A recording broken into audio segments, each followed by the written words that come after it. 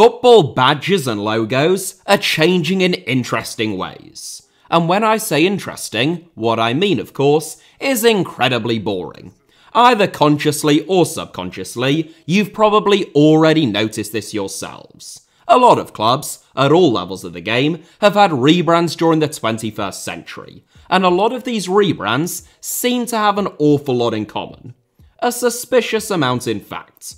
Manchester City, who were taken over by the Abu Dhabi United Group in 2008, adopted a new badge in 2016 as part of a broader rebranding exercise, which included the launch of a new website. This was the Citizens' previous badge from 1997 to 2016, and this is the badge or logo that replaced it. Gone was the eagle, which was meant to represent Manchester's aerospace industry.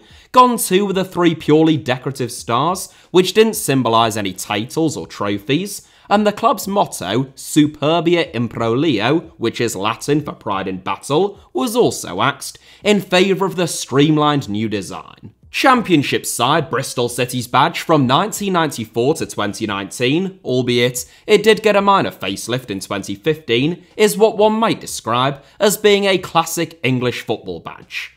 Based very closely on the City of Bristol's coat of arms, just like the club's first ever badge from 1901, it featured a ship sailing away from the Watergate of Bristol Castle, scales which represent justice, and two unicorns which, according to legend, would only pay homage to men of virtue. The new logo, by contrast, is uh, round, features only three colours, and the stenciled iconography of a robin. Or how about Yeovil Town, one of English football's most recent rebrands, who earlier this month announced that they will be ditching their current badge at the end of this season, an amusingly terrible but nonetheless iconic and intricate design, again based upon the town's own coat of arms, and replacing it with this, which looks like a stock image and could belong to any club in world football, were not for the words Yeovil Town FC being emblazoned upon it in a nondescript font. It's not just English clubs, though. Italian giants Juventus and Inter Milan have rebranded to simplify designs in recent years, along with Fiorentina and Hellas Verona. Nantes have replaced their old crest, which featured lots of iconography with, well, just a big N in League One, and in Major League Soccer, a league which is quite frankly obsessed with rebrands, Chicago Fire ditched their old logo for this monstrosity in 2019, before rebranding again in 2021. Meanwhile, Columbus Crew went through four different logos in the space of just seven years, going from one of the strangest and most iconic badges in world football to yet another tricolour roundel that with a few adjustments, namely the colours and the words printed on it, could also belong to just about any club in world football. Nor is it even just clubs. Spain recently simplified their national team logo, going from this to this, and going from seven different colours down to two, and removing much of the detail in the process. Mexico have also minimalised their national team badge, as have Belgium, Australia, Sweden, Ecuador, Costa Rica, Iceland, Kosovo, Gibraltar, Paraguay, Bahrain, Thailand, and even San Marino.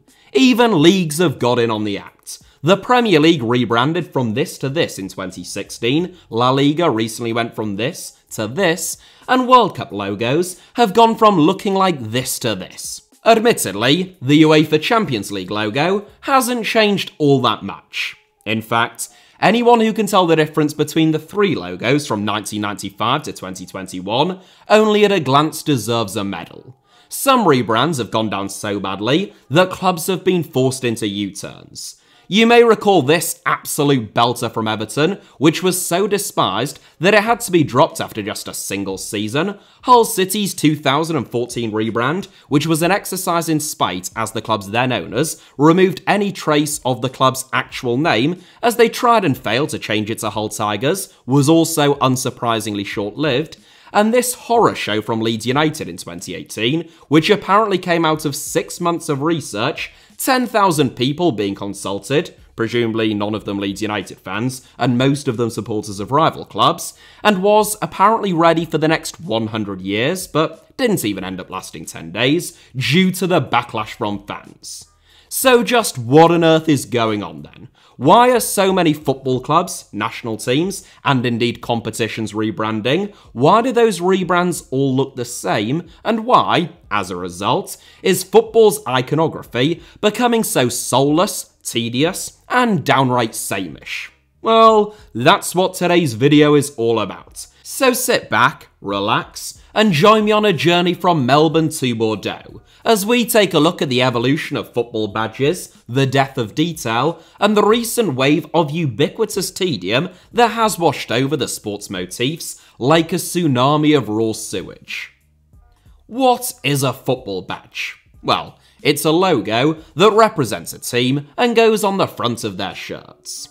That might seem like the easiest answer, but not only is it grossly incomplete, especially in the modern era, it's not even necessarily accurate in its incomplete form. For a start, football badges go on a lot more than the front of match and replica shirts these days. You will find them on a raft of merchandise, athleisure, fashion wear, accessories, online and marketing, and all around a stadium. The multiple use cases for badges, or logos now, compared to when they were first designed and even only 20 or 30 years ago, has completely transformed their purpose, meaning, and design.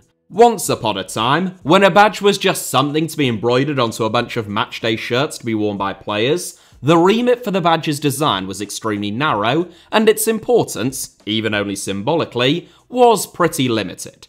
Throughout the first century of organised football, you didn't really see a club's badge, so it wasn't something that most fans preoccupied themselves caring much about. During the first half of the 20th century, and even into the 1960s and 70s, it was rare to find a club's badge even on the front of their own matchday programme, one of the few forms of club specific media which existed at the time. That's not to say that there was no iconography at all, it just didn't tend to be the club or their opposition's badge. Here is a Manchester United programme from the 1950s, for example. As you can see, no Manchester United badge from that era, which looked like this. Here is the programme for the 1961 European Cup final between Barcelona and Benfica. Again, featuring neither of the club's badges, and just in case you still didn't believe me, here is a Liverpool programme from when they hosted Ajax in the European Cup in December 1966, which, again, doesn't feature anything that even remotely resembles the Liverpool or Ajax badges at the time. This was the case, it is worth bearing in mind, for the majority of the history of football. These were simpler times, and most clubs, as in the case of the recently replaced Bristol City and Yeovil Town badges that I displayed during the introduction, simply adopted the coat of arms of their home cities, towns, or villages. This includes some of the biggest clubs in the world. FC Barcelona's first badge, for example, looked like this, making it an almost direct replica of the City Council of Barcelona's coat of arms, Liverpool's first badge, adopted in 1892, had an almost direct resemblance to the Liverpool City Council coat of arms. The Manchester City Council coat of arms was reflected both in Manchester United's badge from 1902 to 1940 and in various Manchester City badges all the way up to 1978, and the Atletico Madrid badge, still to this day, features the same motif, namely the bear and the tree, as one will find on the coat of arms of Madrid, which dates all the way back to the Middle Ages. As football clubs began to forge their own independent identities, and their badges began to become more prominent and take on new meaning, we saw a huge divergence and diversity of designs, though often inspired by the prevailing art and design trends of the era. So badges at the start of the 20th century were often influenced by the Art Nouveau movement, followed by the rise of the Art Deco visual style which emanated out of Paris, influencing the logos of the likes of Arsenal, Bayern Munich, and Real Madrid during this era, and then came the international typographic style, which was particularly prevalent in Europe and represented a much more radical wave of rebrands and redesigns. Out went a lot of the local coat of arms and Latin mottos associated with many clubs' badges since their inception, and in came much more modern designs, stripping away a lot of the Art Nouveau intricacies and often replacing them with a single symbol or image. AS Roma ditched their traditional logo of a wolf, which, on their current badge, I always thought looked more like an elephant, with its young suckling on its teats, along with text and a shield, and replaced it simply with the stylized head of a wolf, Sheffield Wednesday dumped their old badge, which is also their current badge, which is relatively intricate and detailed, and replaced it with a stripped back and ultra simplistic drawing of an owl without a shield or crest of any description, and a lot of clubs, including my own, retain the iconography of their old badge, in Hull City's case, a bizarre yet brilliant interpretation of what a tiger looks like, but removed everything other than the animal or symbol itself. Even more common, as in the case of Chelsea, Everton, and, again, my own club Hull City, was the strategy of basically doing away with a logo or badge altogether, or at least making any effort to design one, and instead just embroidering your club's initials onto the front of your shirts. I have given a handful of examples here, but I could go on for days, as almost every club underwent a major rebrand during this era. Among the most interesting, or at least reflective of the broader trends in design and subsequently football at the time, was Leeds United's two short lived badges between 1973 and 1977. Having initially gone down the same route as everyone else of just printing their initials on the front of their shirt at the beginning of the 1970s, and what can only be described as having a Sheffield Wednesday badge before that, Leeds adopted a badge that came to be known as the Smiley. The badge makes out the letters L and U, though only just, and if you didn't know the club's name, you would be unlikely to clock it. Which is perhaps why, from 1977 to 1980, the smiley was amended to feature a round shield which also included the club's name in a more easy to read font. The smiley was typical of the 70s revolution of badges and the disregard for tradition and sentimentality that came with it, with a hyper focus on aesthetics. Personally, I love a lot of the football logos from this era that seem to epitomise what we might now term a retro aesthetic. Though, specifically just in the case of Leeds' smiley logo, as soon as someone points out the bell end, you never really unsee it. I'm afraid it was ruined for me, and now it has been for you as well. Alright, let's move on. Following the era of abstract badges, there was an almost equally rapid return to tradition. During the 1990s, many clubs returned to something resembling some of their earliest badges. Just using the same examples from earlier on, AS Roma reverted to type, bringing back the suckling teat wolves, their initials, and an emblem. Sheffield Wednesday went back to something very similar to their badge from the 1950s and 60s. Everton basically went back to their old badge from the 1930s through to 1972. And Hull City, well, look, to be quite frank with you, I'd really rather not talk about it. We all make mistakes, alright? And that is where we were at the beginning of the 2000s, with a lot of traditional, if slightly more polished badges, often featuring lots of symbolism, intricate, decorative, and ornamental details, and several different colours. It is perhaps going from that era of facelifted traditionalism rather than the more abstract logos of the 80s and 90s that makes today's minimalism seem so shocking and soulless to a lot of people. And while it is a new design revolution that has been brought about in part by a change of function, the purpose of football logos has shifted radically in recent years. As with trends throughout the last 150 years, it didn't happen in isolation. Football logos tend to follow trends rather than set them, and that is especially true of the current raft of rebrands. Football clubs, and certainly the top clubs, who seek to market themselves globally rather than locally, regionally, or even only nationally these days, now view themselves as brands just as much as they are clubs, if not more so in some instances. Yes, Ed Woodward and the Glazers, I am looking at you. But Manchester United are not the freak outliers or pariahs you may think, or that they are sometimes portrayed as being. As football has become more corporate and commercialised at an ever accelerating speed, we shouldn't be all that surprised to see logos and imagery which reflect that fact. The shift towards ever more minimalist and instantly recognisable branding has taken the world of design, at the corporate level at least, by storm in recent years. When you think about it, the rebranding of Burger King and Brentford, Kia and Verona, or Warner Brothers and Seattle Sounders really aren't all that different. In all six instances, the brands involved have stripped back detailing, simplified the core design, or implemented an entirely new simplified icon, and reduced the number of colours. In all six instances, the motive or logic is also the same. They want simpler and more instantly recognisable iconography to strengthen their marketing and branding. It's just that people tend to have much more attachment to their football clubs and the imagery that is associated with them than they do to Burger King or Kia. So when they rebrand, there is a lot more emotional investment in it. Ultimately, though, much as we may wish or believe that football is different to McDonald's or Sony, in the eyes of those who own the sport, it really isn't.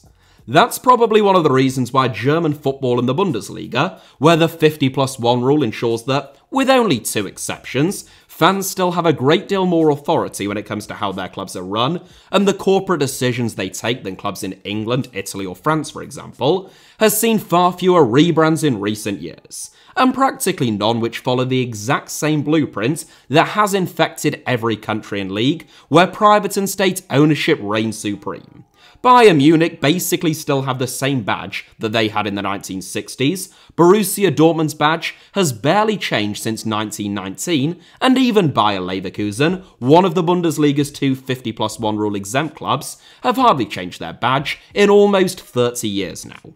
Likewise, fellow nominally or meaningfully fan owned clubs throughout the world have also tended to retain a stronger sense of their identities and that is reflected in their logos. Whether that be Rapid Vienna in Austria, Real Madrid and Barcelona in La Liga, or most of the leading clubs still in Argentina and Brazil, albeit that is starting to shift now with the latter, since new rules were passed to encourage foreign investment. For those outside of Germany and other fan owned clubs, though, the march towards dull uniformity has been incessant. In many ways, Arsenal were the first club to go down this route. In 2002, fresh off the back of winning a Premier League and FA Cup double, Arsenal ditched their decorative crest, which they had had in some form since 1949, and replaced it with something radically different. Out went the ornamental detailing, black letter typography, and the coat of arms of the Metropolitan Borough of Islington. Meanwhile, the famous Arsenal cannon was switched from facing east to west to pointing from west to east. The latter was actually due to a copyright issue, another frequent issue relating to badge design, which can prompt rebrands, along with the symbolism of entering a new era. Rebrands are particularly common at clubs within the first few years of an ownership change, as new regimes implement their ideas of how the club should be marketed and look to distinguish themselves from that which came before them. In Arsenal's case, having had a relatively unchanged badge for more than 50 years, the rebrand was timed to coincide with the Premier League's explosion in worldwide popularity, the broader modernisation brought about at the club by Arsene Wenger, and in anticipation of moving to the state of the art Emirates Stadium in 2006, which was already under construction. There was another motive though. According to Dave Harrison, who worked for Ensign Badges at the time, Howard Wilkinson, who also designed Leeds United's new badge in 1998, had a very clear idea in his mind of the type of branding that he wanted to create. Speaking to The Athletic in 2022, Harrison stated, quote, he wanted something that was more of a logo, something more easily identifiable. He said to me, the cannon is Arsenal, the tick is Nike, that's what he was thinking. He wanted something that jumped out instantly. End quote. It is in that sense, more so than the copyright issue or new era symbolism, that Arsenal set the tone for what was to come. The Nike tick, evoked by Wilkinson, is among the most instantly recognisable brands in the world, but all sportswear brands have tried to create extremely slick, refined, and distinctive logos over the years whether that be Adidas, whose three stripes feature on virtually every single one of their products, Puma, whose logo requires little explanation, Reebok, Umbro, Castore, Fila, Kappa, Under Armour, New Balance, and, of course, my personal favourite, Le Coq Sportif. The same is true of the most iconic and instantly recognizable brands outside of sports, whether that be Apple, Coca Cola, McDonald's, Google, Facebook, Instagram, Mercedes Benz, Ford, Volkswagen, Rolex, MasterCard, Domino's, Amazon, heck, even the website or app that you're watching this on, YouTube. One of the most interesting examples, when put side by side with the revolution in football branding, is Starbucks, who were founded in 1971 with a very detailed drawing of a siren, not a mermaid to be clear, who only have one tail, while sirens tend to have two. And if there is absolutely nothing else that you take from this video, then at least let it be that but have, through three different iterations, simplified their logo up to their current design, created in 2011, which has no text, no borders, next to no detail, and only two colours. Is that really any different to League One side Derby County, who, just one year after Starbucks, in 2012, and I'm not suggesting that the two are directly related, also did away with the text, border, and detailing of their former badge while retaining the same central motif, and if you compare it to their former badge, up to 2009, also reduced the number of colours present from 3 to 2. Technically speaking, there are no colours in the Derby rebrand and only one in the Starbucks one, because black and white aren't colours of course, they're shades, but you get what I mean. I mention that only because I know that there would be that one guy rushing to make that point, and correct me down below in the comments, and I refuse to give him that satisfaction. Not today, Tariq. Better luck next time. When you think of Nike, Adidas, and Puma being the model, most football club rebrands, even when unpopular with supporters themselves, become much easier to understand. Athleisure has absolutely exploded in recent years, becoming the fastest growing category in fashion, and football clubs are looking to cash in. Whereas replica shirts used to be almost the sole cash cow for clubs, along with the occasional training top here and there perhaps, now you do well to find an item of clothing that hasn't been emblazoned with your club's logo on it in your club shop. Clubs, therefore, are no longer designing logos with the sole or even necessarily the principal consideration of how it'll look on the front of a football shirt, but on hats, trainers, hoodies, tracksuits, sweatshirts, water bottles, and just about anything else that you can think of. When it comes to branding and marketing in sports, essentially, everyone wants to be the New York Yankees, whose insignia is probably the most recognizable in world sport, despite baseball enjoying only a tiny fraction of football's popularity, and many people who wear Yankees emblazoned baseball caps or other items of clothing having little to no interest in the Yankees themselves. Probably the best example of a football club trying to replicate the Yankees is Italian giants Juventus. In 2017, Juventus underwent a very expensive and high profile rebrand, ditching a logo that had been synonymous with the club for over 100 years in favour of something completely different. Unlike with a lot of modern rebrands which are accused of being either boring or soulless or both of the above, like Manchester City or Hellas Verona, Juventus's rebrand didn't take inspiration from any former Juventus badges. Never before had Juventus been represented simply by the letter J, and in fact, even during the abstract and psychedelic rebranding era of the 1970s and 80s, never before had Juventus's badge not featured a zebra of some description so closely associated with the club's colours and one of their nicknames, and never before had the club's badge not featured the word Juventus itself. Most Juventus fans, and football fans more broadly, given the fact that Juventus are such an iconic club, hated the 2017 and updated 2020 rebrands, and yet, marketing gurus, designers, and brand strategists adored it. At the same time that Juventus fans were calling for the club's old badge to be reinstated, the new logo was winning awards at branding and design conferences. It spoke of the disconnect between what fans want, which is typically some kind of imagery or symbolism that means something to them and that speaks to the club's heritage and tradition, and what marketing executives and brand consultants want, which is something simple, minimalist, and instantly recognizable. The end result is the erasure of colour, the removal of text, flat and distinct colours being favoured ahead of gradients, fewer shadows or 3D effects, and zero tolerance for anything floral, ornamental, or decorative, often with a wanton disregard for nostalgia or meaning. Football club badges used to mean something. They were packed full of symbolism and nods to the club's own past. Some still are. The Liverpool badge, for example, features the famous Shankly Gates outside of Anfield, flames which symbolise remembrance for fans killed in the Hillsborough disaster, the club's full name, year of establishment, and a liver bird within a shield. Except, of course, that while that is still officially the Liverpool badge, you won't find any of that on the front of the Liverpool shirt or on almost any Liverpool merchandise. Not now, and not at any stage for the last 10 plus years. Since 2012, Liverpool, just like the New York Yankees, have had an official team badge or logo, which is this, and then their own separate insignia, which looks like this.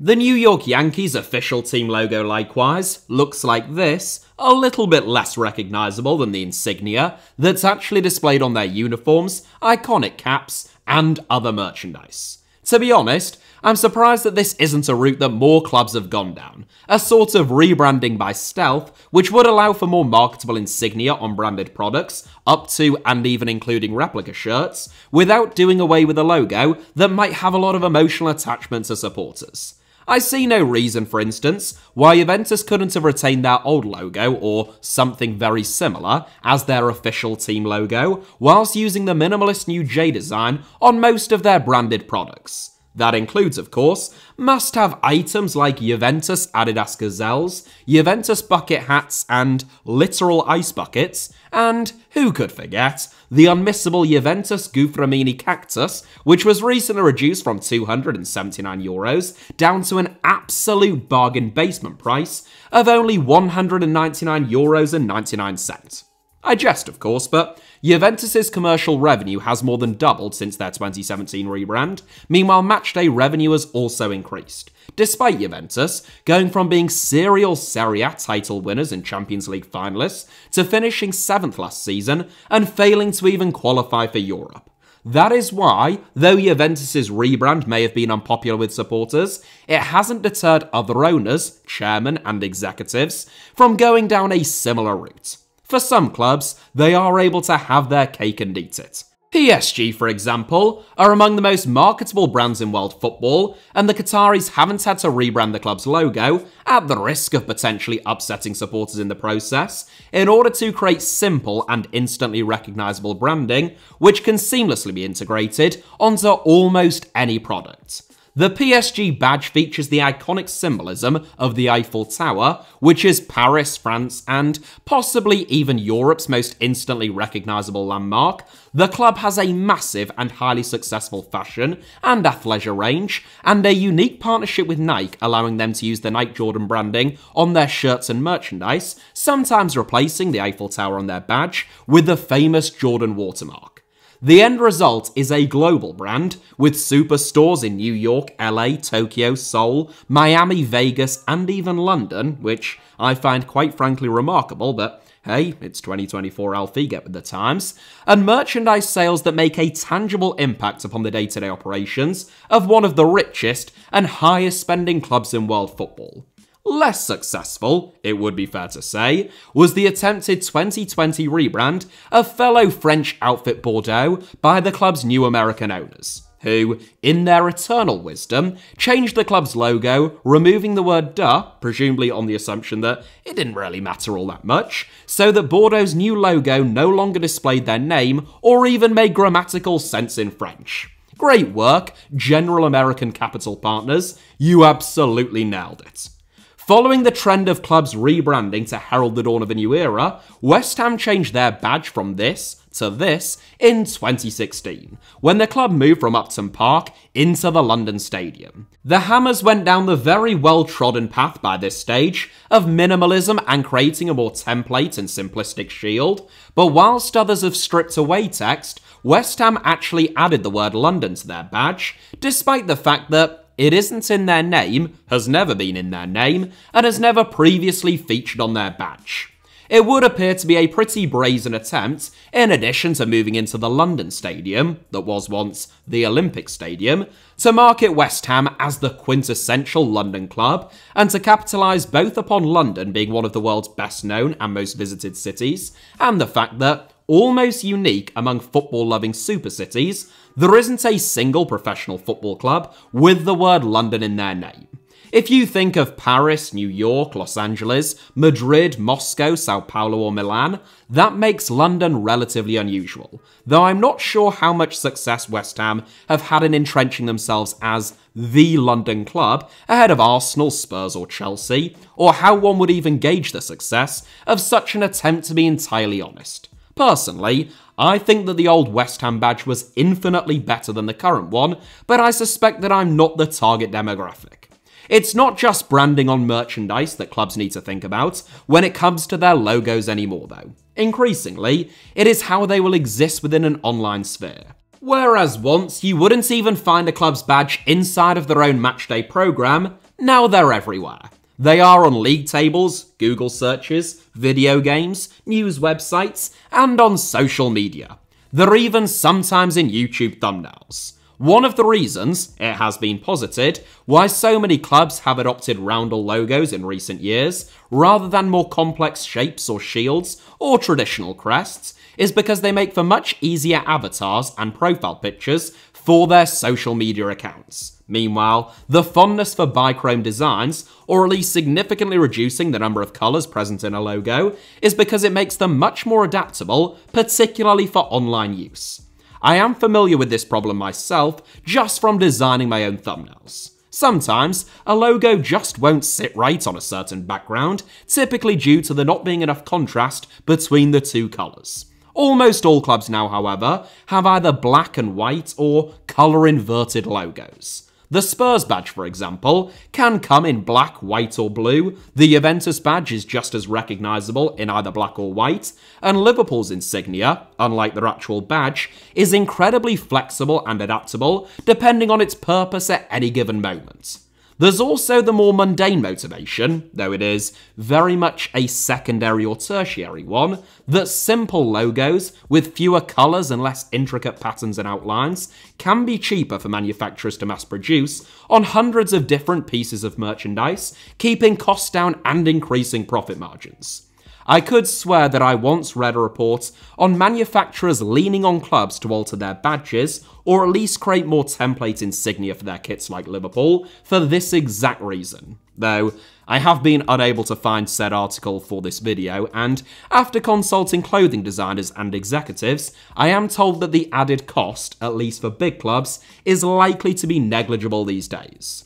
It is important to note, as I have alluded to a few times throughout this video, that though the very corporate and slick logos that we have seen arise in over recent years might seem soulless and boring, many of them, though not Juventus's or Bristol City's for example, are based upon old designs either from the pre-war or abstract eras.